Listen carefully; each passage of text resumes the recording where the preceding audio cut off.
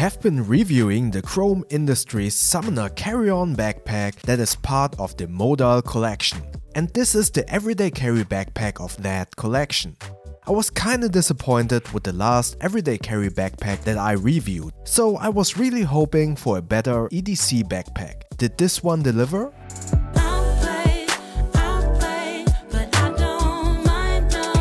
The last everyday carry backpack that I reviewed was the Boundary Supply Errant backpack. You can see that review in the info tab above. Unfortunately, while I really liked the build quality and the overall look of the bag in terms of functionality and practicability, the bag was just not to my liking. Furthermore, I tested a lot of carry-on backpacks lately, so my craving for a good EDC backpack was very high. That is why I was really looking forward to test out this Chrome Industries Pike backpack of the Modal collection. And before we continue with the review, let's do a quick roundup of all the important features of this backpack. 22 liters capacity. Polyester 600D twill melange fabric. Quick access front compartment. Top loading and duffel style opening. Organizer panel inside the main compartment 15 inch laptop compartment, elastic water bottle side pockets, flap velcro side pockets, very comfortable shoulder straps and back panel, YKK zippers, metal hardware, straps at the bottom to attach a jacket for instance, and a nice beefy top handle. The first time I unpacked this bag I was very positively surprised by the design, layout and choices of materials. This polyester 600D twill melange fabric kinda looks like jeans fabric and gives the bag, together with its overall design, a very unique and refreshing look. The material is very durable, doesn't attract much dust or hair, and is flexible enough to have some give when loading a bunch of stuff into the main compartment. Through the very big top opening, you can load a lot of items into the main compartment and with all of the items loaded, the bag is very comfortable to carry.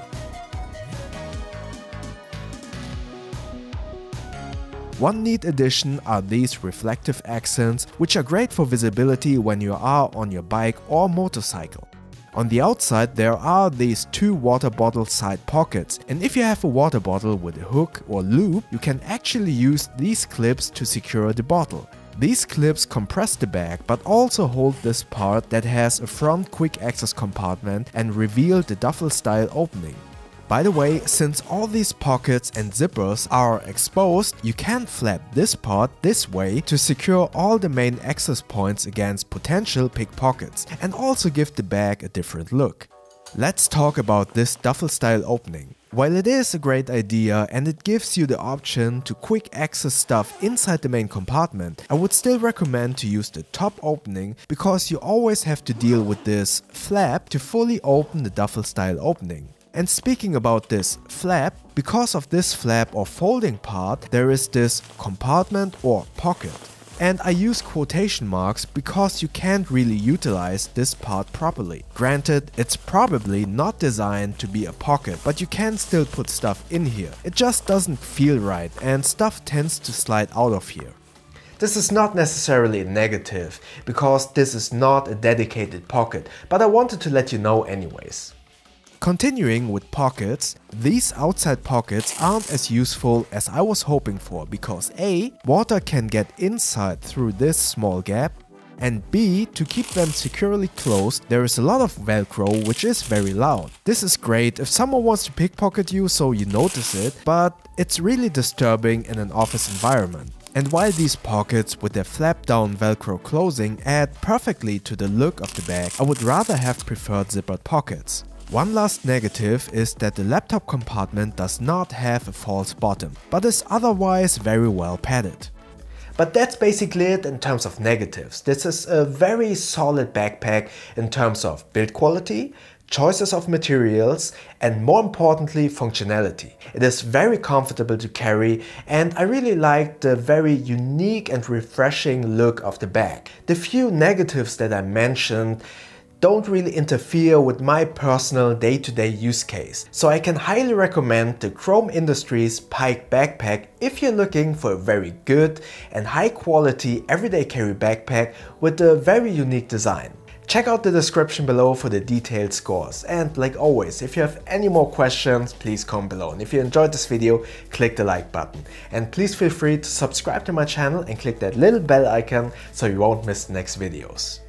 Thank you very much.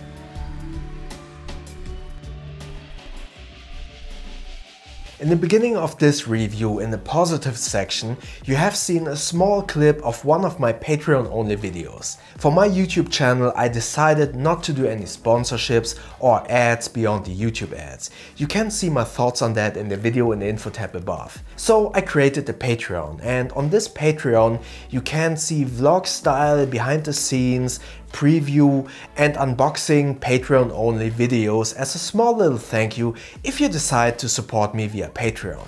But please do not feel obliged to support me that way. You can still watch all my regular videos for free on this YouTube channel. That you watch my videos, are subscribed to my channel and maybe also my Instagram is really awesome. So thank you so much for your support and I hope to see you in the next videos.